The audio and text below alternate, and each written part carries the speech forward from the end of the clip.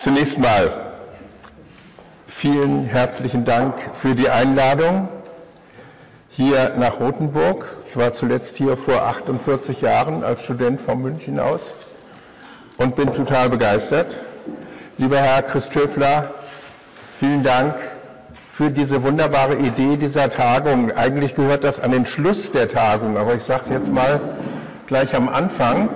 Äh, was für eine fantastische Idee, diese Frage des Pittoresken und Rothenburgs und den Landschaftsgarten als sozusagen ja, auslösendes äh, äh, Moment ähm, ins Spiel zu bringen. Und vielen Dank für diese fulminante Einführung. Das war ja ein unklar, wo ist er denn? Ach, da sitzt er. Ja, ein, äh, äh, eine unglaubliche Fülle, äh, die Sie uns gebracht haben. Ich bitte um Verzeihung, wenn ich mich jetzt äh, sozusagen auch äh, wegen Zeitdisziplin an ein bisschen mehr an mein Manuskript halte, als ich eigentlich äh, gewollt hatte. So, ja, es geht hier jetzt also um eine Art Vorspiel zu dem Thema Rothenburg und die, das Pictureske äh, dann äh, Ende des 18. Jahrhunderts und im 19. Jahrhundert, nämlich um die Gartenkunst. Das Leitbild äh, des Malerischen, das, wie wir ja schon eben gehört haben, von der Kunsttheorie der Romantik über Camillo Sittes, der Städtebau nach seinen künstlerischen Grundsätzen 1889 bis zu Heinrich Wölflins kunstgeschichtlichen Grundbegriffen 1915 im ästhetischen Diskurs immer präsent war, mit unterschiedlichen Akzentuierungen, entstammte ursprünglich der Gartenkunst obwohl, wie wir auch gesehen haben, es natürlich seit Vasari, seit dem 16. Jahrhundert schon den Begriff Pittoresco gibt im Kontext der Malerei. Und diese Ästhetik des Pittoresken aber entstammte ursprünglich der Gartenkunst, die sich ab etwa 1730 von den strengen Regeln der Geometrie und der grünen Architektur des Barockgartens zu lösen begann. In Gestalt des englischen Landschaftsgartens verband sie sich stattdessen innig mit den künstlerischen Rezepten der Landschaftsmalerei. Johann August Nahls, so einen Moment, jetzt muss ich mal, so, ja. Johann August Nahls Ansicht der Kasseler Teufelsbrücke während der Wasserspiele im Bergpark Wilhelmshöhe vor 220 Jahren zeigt, wie dramatisch die malerische Qualität dieses Gartenbildes mit dem Spiel des Lichtes und dem sprühenden Wasserschleier zwischen den dunklen, künstlich aufgetürmten Felsen gesehen werden sollte, gleichsam als ein lebendiges Gemälde. Doch damit sind wir der Entwicklung weit vorausgeeilt, die bereits vor 1700 mit der Kritik an der barocken Gartenkunst, wie sie damals auch in England vorherrschte, eingesetzt hatte. Hier das Beispiel des Landsitzes des Bankiers Sir William Child, Wanstead bei London. Am Horizont oben links ist das im Moment der rote? Ja, Sie müssen in der Mitte. Da, da. da können Sie noch die St. Paul's Cathedral und den Umriss der Londoner Stadt sehen. Ein Garten, der sich zum Teil am höfischen Versailles, zum Teil an holländischen Vorbildern orientierte. Gartenkritik und das hängt jetzt mit, dem großen, mit der großen gesellschaftlichen Umwälzung in England im 17. Jahrhundert zusammen, wurde im Diskurs des 18. Jahrhunderts zur Gesellschaftskritik. Der 1779 äh, von dem Kieler Gartentheoretiker Hirschfeld geprägte Begriff der Gartenrevolution meinte vor dem Hintergrund der philosophischen, gesellschaftlichen und politischen Umwälzungen der Aufklärung nämlich nicht nur den neuen ästhetischen Aspekt der Bildhaftigkeit, sondern die Rezeption freier Natur als antiabsolutistische, antifeudale, ja sogar republikanische Botschaft, die im naturgläubigen Deismus im 18. Jahrhundert geradezu religiöse Züge annahm. Vom moralisierenden Humanismus Lord Shaftesbury's, der Name war eben schon gefallen, bis zur Physikotheologie Isaac Newtons. Wo menschliche Freiheit aus dem Naturrecht begründet wurde, konnte umgekehrt unberührte Natur zum Freiheitssymbol werden. Während das seit der Antike geläufige Beschneiden der Pflanzen in mitunter abstruse Formen und immergrüne Architekturen, die Ars Topiaria, nun als Vergewaltigung der Natur galt, erschien ein prächtiger, sich frei auswachsender Baum, edler, Zitat, edler als ein Monarch in seinem Krönungsornat, so der Dichter Alexander Pope, einer der Väter des Landschaftsgartens. Ähnlich Rousseau, für den in seinem Erziehungsroman Emile 1762 die einfühlende Landschaftsgärtnerei zur Metapher für eine antiautoritäre, die natürlichen Anlagen des Kindes nicht beschneidende, sondern entfaltende Erziehung wurde. Hierzulande hat Daniel Schodowiecki 1778 in seinem didaktischen Bilderbogen natürliche und affektierte Handlungen des Lebens, die vermeintliche Zwanghaftigkeit des gekünstelten Höfischen und die scheinbare Natürlichkeit des freien bürgerlichen Habitus und somit auch die ethischen Grundhaltungen durch die entsprechenden Gartenstile charakterisiert. Dieser kritische Diskurs des 18. Jahrhunderts führte aber auch zu einem bis heute unausrottbaren Missverständnis, nämlich, dass der auf Geometrie und architektonische Formen basierende Barockgarten künstlich, der englische Landschaftsgarten aber natürlich sei. De facto ist die Landschaftsgärtnerei kaum weniger künstlich in ihrem Versuch, Natur nachzuahmen, als der Gebrauch von Zirkel und Lineal, wie wir sehen werden. Welche Natur war überhaupt gemeint und wie sollte sie in einem dauerhaften Gartenkunstwerk dargestellt werden? Dauerhaft, wo die Natur doch lebt und sowieso abstirbt, abstirbt und in ständiger Veränderung begriffen ist. Die Entwicklung des schon so bald sogenannten englischen Gartens auf den Landsitzen der neuen aufgeklärten und liberalen britischen Elite, ungeachtet dessen, was sie über den Hintergrund mit Recht gesagt haben, dass die Bewegung der Einhegung, die Privatisierung des großen Landbesitzes, die Anlage von Kapital, was zum Teil eben aus Börsenspekulationen gewonnen war, aus äh, Ehestiftungen und ähnlichem Heiratspolitik spielte eine große Rolle. Und die, das hereinkommende Geld äh, wurde eben in große Landbesitze äh, äh, investiert, aber trotzdem, dem entsprach auf der anderen Seite eben diese sozusagen Ideenwelt, von der ich hier spreche, eines neuen, freien und liberalen, im Grunde genommen bürgerlich äh, gedachten, bürgerlich aristokratisch äh, gedachten Daseins. Und äh, das ist eine britische Elite gewesen im damals fortschrittlichsten Land Europas. Das darf man nicht vergessen, auch mit, seiner, äh, mit seinem parlamentarischen, äh, mit seinem parlamentarischen Modell äh, der Monarchie. Diese Entwicklung kann ich in ganz wenigen oder möchte ich in ganz wenigen Schritten nachvollziehen, wie sich die Gartenkunst entwickelt hat. Da wäre erstens mal sozusagen das Kapitel gescheitertes Charavati. Auch der Begriff ist eben bei Herrn Christöffler schon gefallen.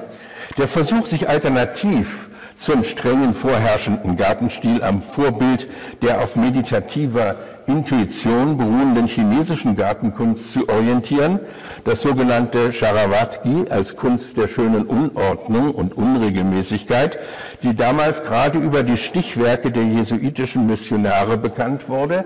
Hier die, äh, ein Stich vom Pater Matteo, Matteo Ripa der kaiserlichen Gärten der Residenz Jehol in China. China war ja ganz abgeschlossen und die Jesuiten waren eben die ersten, die ins Land kamen und diese Dinge auch im Westen bekannt machen und auch gerade eben in England äh, am Anfang des 18. Jahrhunderts äh, wurden diese Werke auch gekauft, etwa von Lord Burlington, der gleich noch äh, hier auf, in Erscheinung treten wird. Also der Versuch, sich nun am Chinesischen zu orientieren, das dann im 18. Jahrhundert später immer wieder eine Rolle spielte, bei William Chambers etwa, scheiterte aber zunächst, weil, äh, wie Sir William Temple schon 1692 treffend formulierte, die Mentalität der Chinesen von unserer europäischen so weit entfernt ist wie ihr Land. Um, he says, uh, the thinking of the Chinese is as far away as our country is. That's uh, William Temple about the uh, reception of the Chinese Sharavatgi. He says it's impossible in Europe.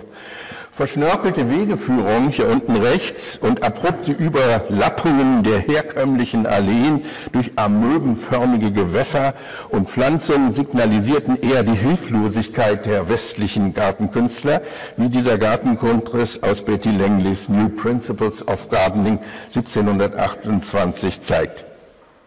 Der westlichen Mentalität entsprach stattdessen das denkende Anschauen und anschauliche Denken in Bildern, das zuerst zur Dekonstruktion der barocken Ordnung und schließlich zur Transformation des Gartens in dreidimensionale, begehbare Gemälde führte. Zweitens der Garten als Bühne. Der nächste Schritt bestand darin, die hierarchischen barocken Achsen und Raumstrukturen zugunsten kleiner, irregulärer und asymmetrischer Partien aufzubrechen und abwechslungsreiche Schauplätze im Garten zu inszenieren, die wie Theaterszenen funktionierten. Lord Burlingtons berühmte Villa in Chiswick bei London mit ihrer imposanten Staffagenfülle um 1730 galt als Prototyp dieses Übergangsstils. Sie sehen hier schon einige natürlichere ähm, Partien, ähm, äh, auch äh, Schlängelwege, aber auch äh, chinesische Zickzackwege, die sind ja Zickzack, damit die Geister, die können immer nicht um die Ecke gehen, äh, einen nicht verfolgen können. Dann aber auch barocke, äh, wie Jagdsterne konstruierte ähm, äh, Gebilde und auf der anderen Seite aber doch eben dann immer äh, Gebäude, kleine Gebäude, die in den Park eingesprengt sind. Und ganz typisch ist, dass jetzt zu einem Plan immer gleichzeitig auch die Randviduten, die Ansichten aus verschiedenen Blickwinkeln auch gegeben werden. Das ist aus dem berühmten Vitruvius Britannicus, diesem großen englischen Architekturwerk, das ab 1715 von Colin Campbell ähm, heraus, äh, äh, äh, herausgegeben wurde und dann aber eben äh, in verschiedenen Auflagen bis ans Ende des 18. Jahrhunderts, bis ins frühe 19. Jahrhundert fortgesetzt wurde. Von Architekten der Renaissance wie Bramante, Sergio und Inigo Jones konnte man solche aus Miniaturbauten und Baumkulissen bestehenden Bühnenstaffagen mitsamt ihrem zum Drama gehörigen Stimmungscharakter und ihren emblematischen Bedeutungen in den Garten übertragen.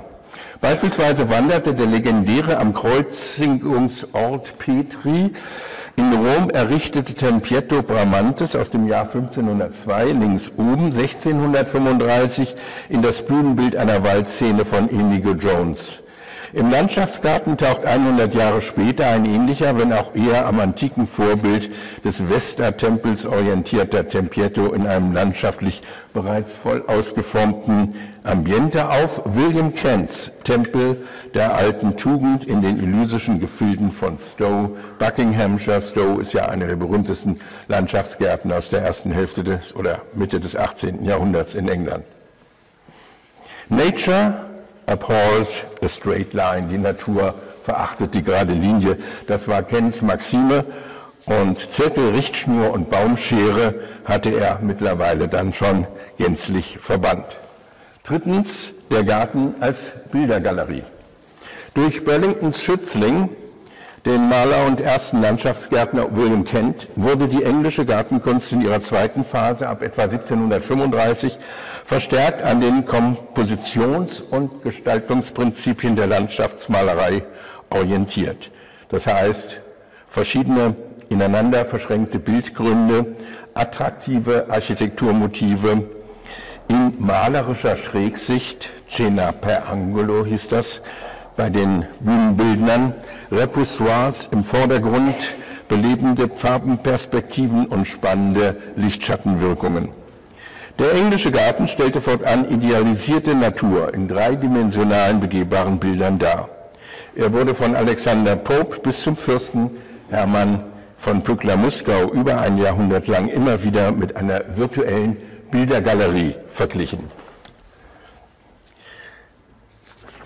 Als Vorbilder galten den Gartenkünstlern die mit antiken Versatzstücken ausstaffierten Landschaftsgemälde Claude Laurence und Gaspard Poussins aus dem späten 17. Jahrhundert und auch noch einiger anderer Maler, aber das sind vielleicht die bekanntesten, die noch an arkadische Mythen oder pastorale Poesie anknüpften und vor allem durch die beliebte Bildungsreise nach Italien noch ganz aktuell und erlebbar geblieben waren.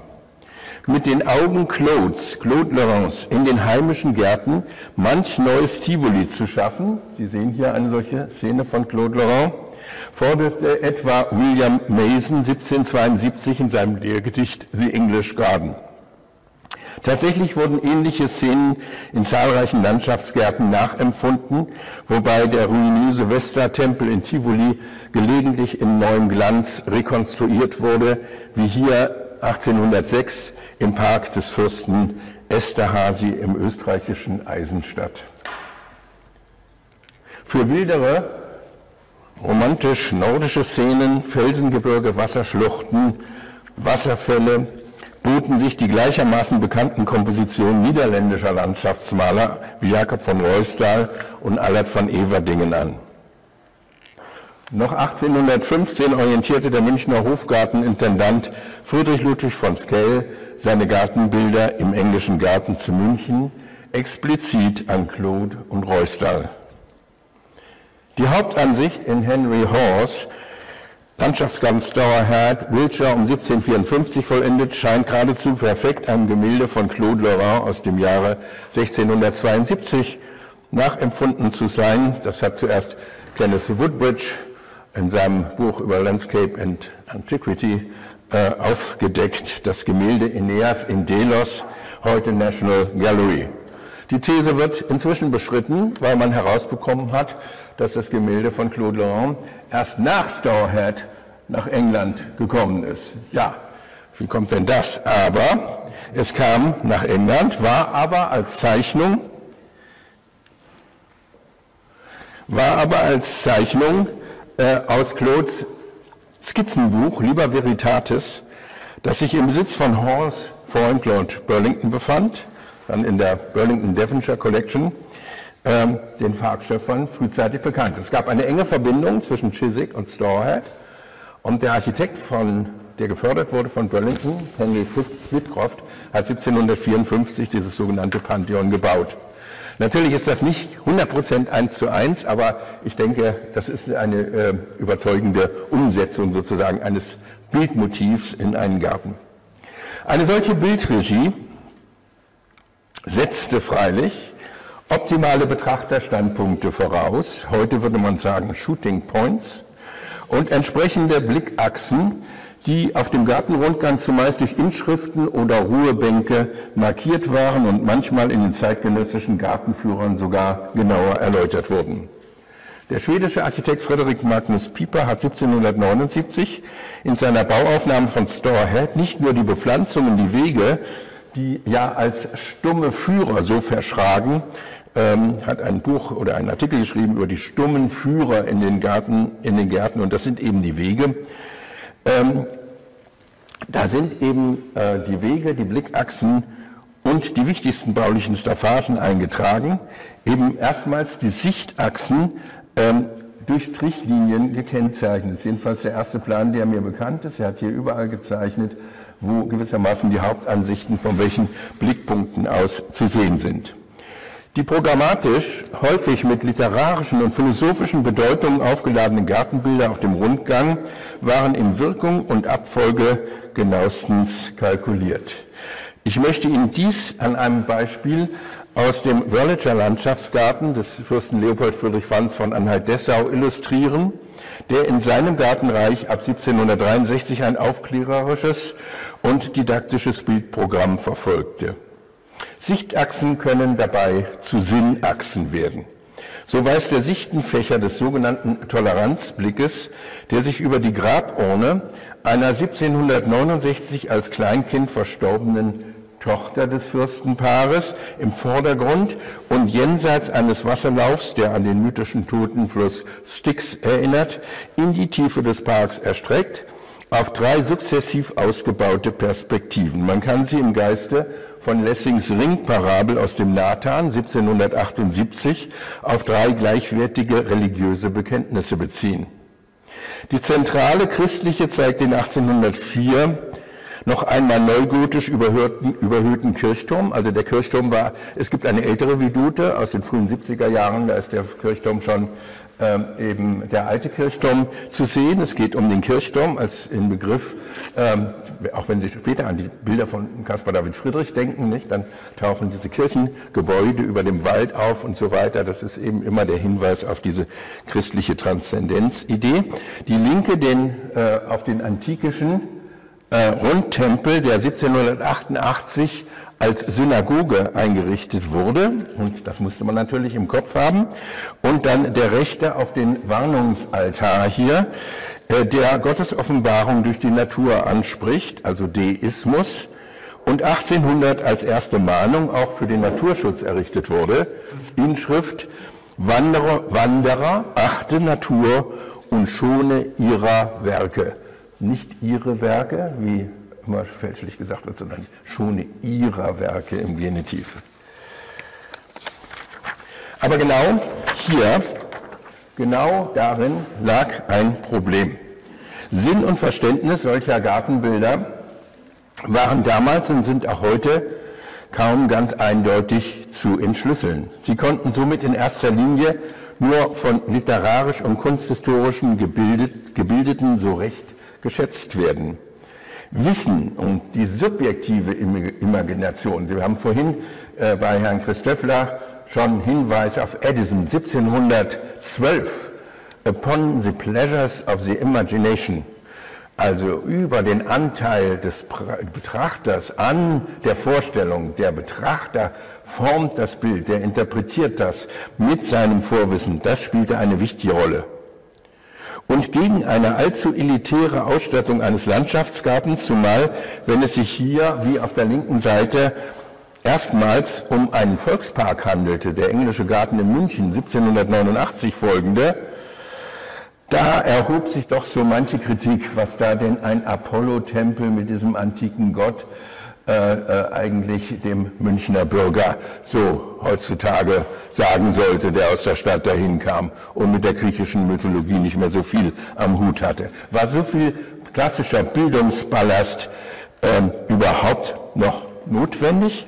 Sprachen nicht Form, Farbe und Stimmung der gestalteten Landschaft für sich? Dann komme ich zu vier. Der Betrachter ist im Bild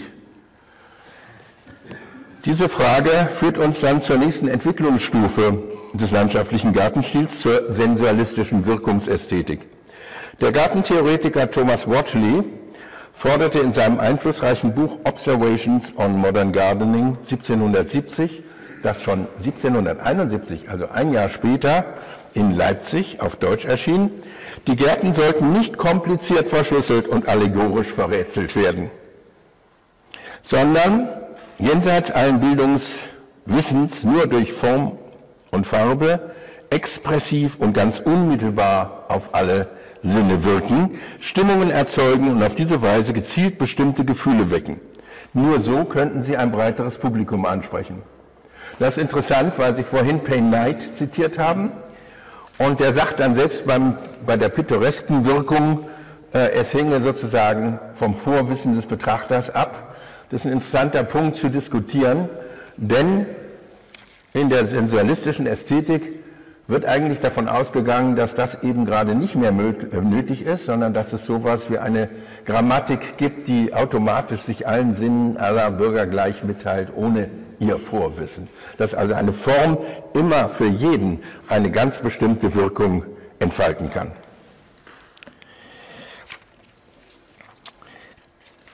Betrachter oftmals Rückenfiguren. Hier eine Szene aus dem, mit dem chinesischen Turm im Hintergrund. Im Englischen Garten in München von Mettenleitner, sind oft schauend oder auch zeichnend dargestellt, aber sie stehen dem Gartenbild nicht distanziert gegenüber, sondern sie leben mittendrin und lassen es offensichtlich ganz tief auf sich wirken. Unter dem Einfluss der Ästhetik Burke's Philosophical Inquiry into the Origins of Our Ideas of the Sublime and Beautiful 1757 wurde im sentimentalen Garten eine regelrechte, ein regelrechter Formenkatalog, namentlich des Schönen und Erhabenen entwickelt, deren Wirkungen sich in den Affekten der abgebildeten Parkwanderer widerspiegeln. Ehrfurchtsvolle Bewunderung etwa mit großen Gästen vor dem erhabenen Wassersturz des äh, gigantischen Kasseler Aquäduktes oder Melancholie am abgeschiedenen äh, Trauerort nahe am murmelnden Bach im Dunkeln beim, im Seifersdorfer Tal bei Dresden. Sie sehen sogar den frierenden Hund, der in Dürers Stich der Melancholie äh, mit, mitgegeben ist.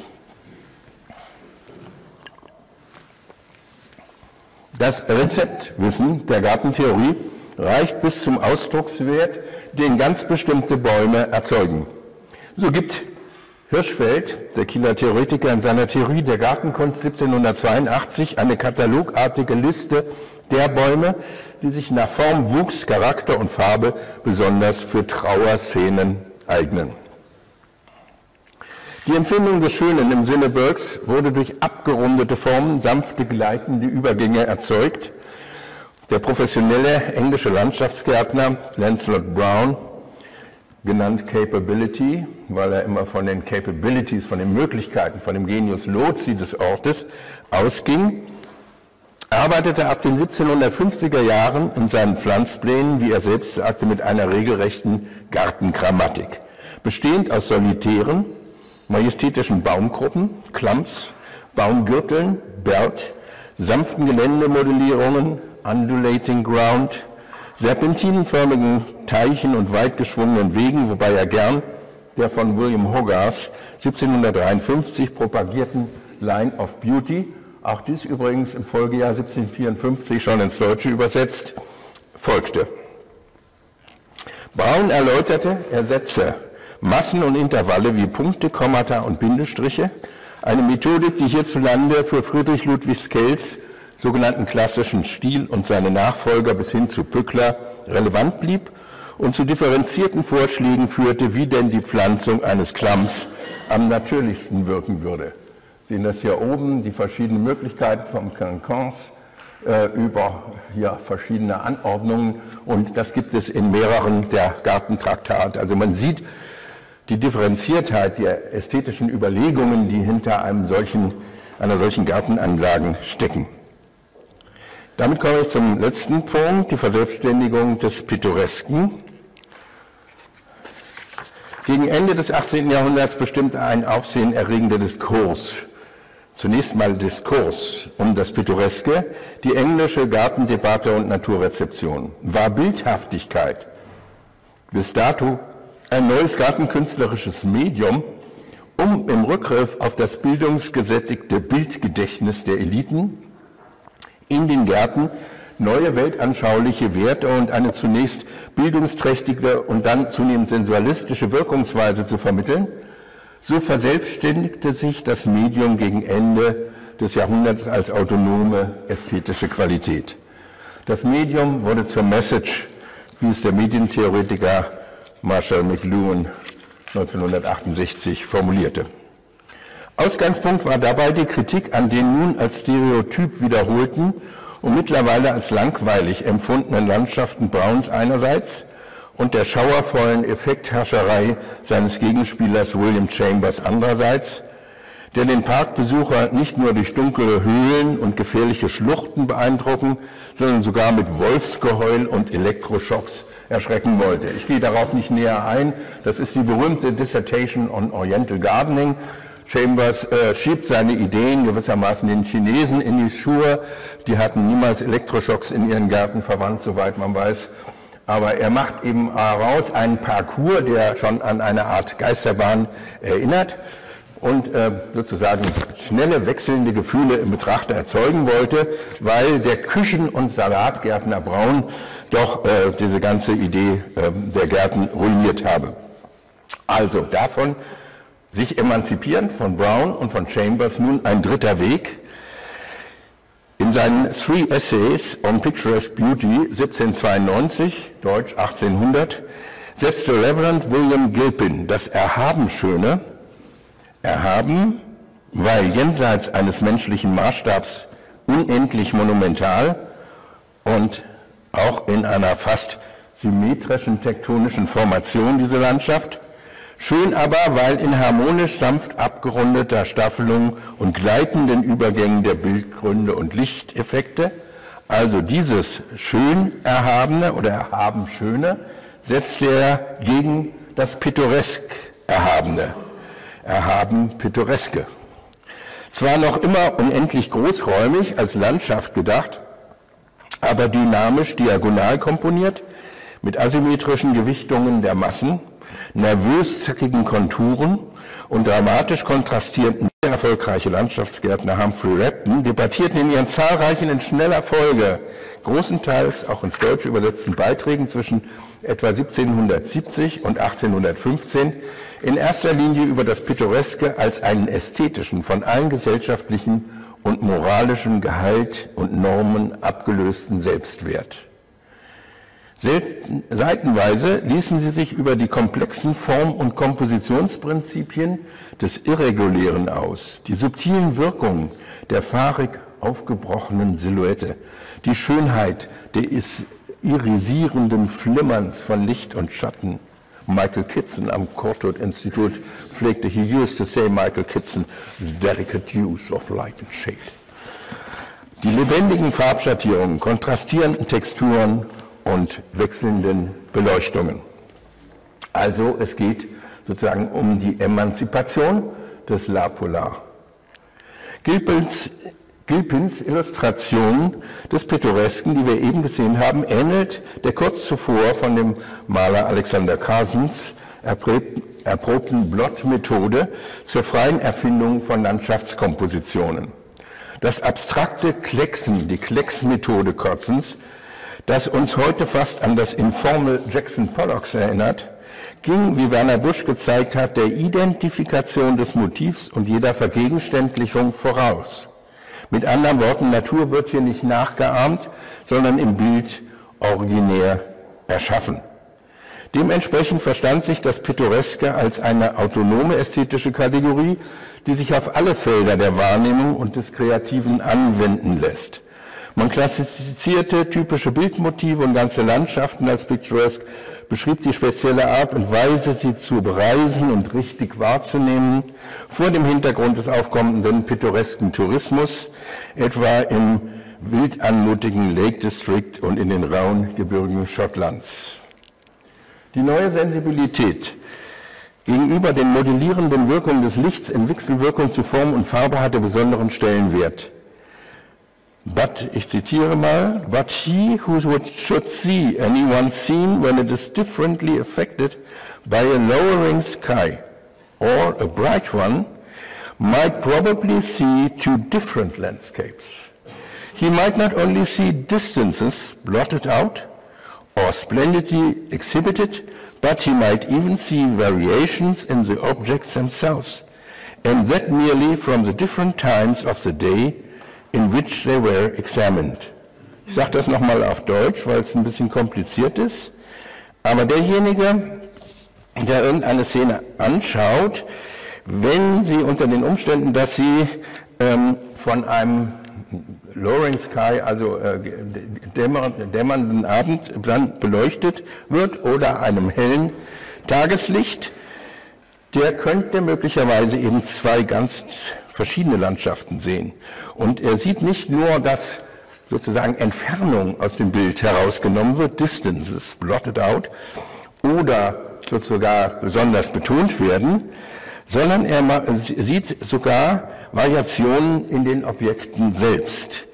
Und das nur äh, von den verschiedenen Tageszeiten her, äh, zu der sie betrachtet werden. Und das ist ganz wichtig, weil es ja in der Gartentheorie dann auch Gärten gibt, einen Morgen- und Abendgarten und so weiter, die also auf die Tageszeiten, auf die Jahreszeiten sowieso ausgelegt sind, also auf den Faktor Zeit. Das hat Gilpin 92 geschrieben in diesen Three Essays. Zehn Jahre später demonstrierte der Praktiker Repton in einer Tag- und Nachtansicht einer Gutslandschaft, das ist, was Sie hier sehen, diese Varianten, die es bei der Gestaltung zu berücksichtigen galt. John Claudius Loudon der bedeutendste Gartenfachmann neben und nach Repton, veranschaulichte in seinem Buch On Forming, Improving and Managing Country Residences 1806 Fast karikaturhaft die überholte Manier Browns in Kontrast zu seinem eigenen pittoresken Entwurf. Das ist bereits auf den ersten Blick im Grundriss anschaulich. Sie sehen hier also nochmal Brown mit dieser Grammar der Gartengrammatik, der Welt, die, die Kulissenpflanzung mit dem Gürtelweg ringsrum, die Klams, ist natürlich hier in einer gemeinen Weise, ist das sozusagen karikiert, indem diese Plums einfach so hingekotzt werden gewissermaßen. Und dann sieht man diese Serpentine und, äh, und so weiter. Und dann auf den ersten Blick schon, ha, diese ganz vielen Einzelbäume, was machen die für nervöse Konturen? Äh, das ist ja ein Wort hier, das, die Wasserfläche ausgebuchtet und so weiter. Hier gibt es dann noch ein Stück formalen Garten am Herrenhaus selbst, der dann noch bleibt, ähm, ja, auch um die Tradition ähm, sozusagen vorzuzeigen. Das ist auch ein interessanter Punkt. Und äh, man sieht es aber noch viel mehr, wenn man jetzt also die Ansicht davon, links also eine ziemlich öde Angelegenheit, wo auch die Kühe bis zum Esszimmer hoch äh, grasen können und dann durchs Fenster gucken. Das hat man dem Braun ja auch immer vorgeworfen. Und dann hier diese dramatische Ansicht, äh, wo der ganze Hang sozusagen weggesprengt wird und man sieht, was für ein ungeheurer Kostenaufwand betrieben werden hätte müssen oder teilweise auch betrieben worden ist, um eben eine solche pittoreske Landschaft aus rein ästhetischen Gründen herzustellen eine Transformation.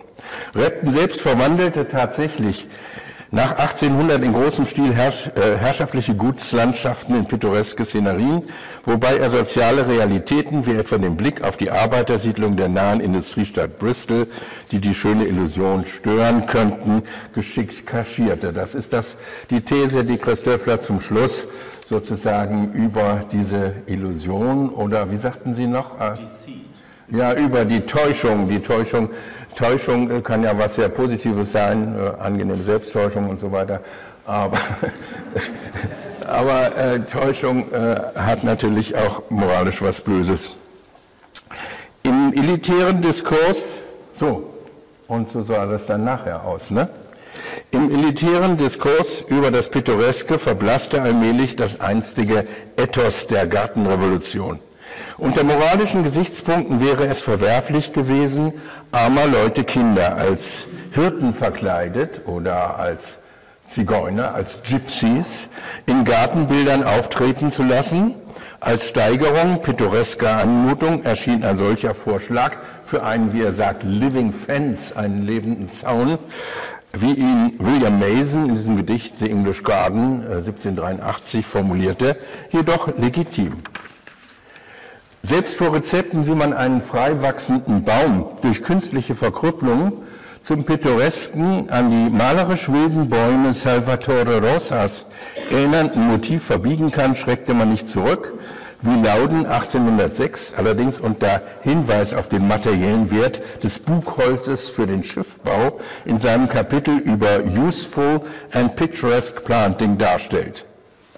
Also hier die Zeichnung, oh sorry, die Zeichnung von äh, Salvatore Rosa mit diesem, äh, der immer diese wahnsinnig pittoresken Bäume, auch abgestorbene Bäume, wie man sie teilweise sogar in Landschaftsgärten künstlich einsetzte als Element. Äh, nun, wie man das durch Bending herstellt. Ich muss fairerweise sagen, ich habe die Stelle bei Lauden nochmal nachgelesen und er spricht immerzu vom wirtschaftlichen Nutzen, dass dieses Bugholz wahnsinnig gut verkäuflich wäre, eben für den Schiffsbau. Aber er tut es eben in dem Kapitel on Useful and Picturesque Planting und er vermengt doch beide Sphären so ein bisschen.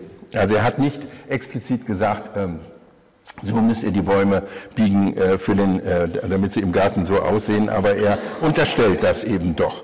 Und das Pittoreske erfasste alles Sphären, so auch den ethischen Anspruch der klassischen Architektur, insbesondere des Palladianismus, äh, den man mit gutem Grund, ich habe das in meiner Dissertation gemacht, 1982 publiziert, ähm, ähm, Palladianismus, den man als Moral Architecture bezeichnen kann, der eng verwoben war mit bestimmten Vorstellungen auch der Freimaurerei über Balance, äh, über äh, die Balance und die moralische, ähm, also über die architektonische Moral und die moralische Architektur. Da gibt es einen ganz engen Zusammenhang. Und jetzt bricht sozusagen das Pittoreske über die klassische Architektur ein der ehrwürdige englische Palladianismus und Klassizismus, den beispielsweise hier in Deutschland Johann Heinrich Christoph Jusso 1792 für Schloss Wilhelmshöhe im Kasseler Bergpark wählte, schien unter pittoresken Gesichtspunkten völlig untauglich.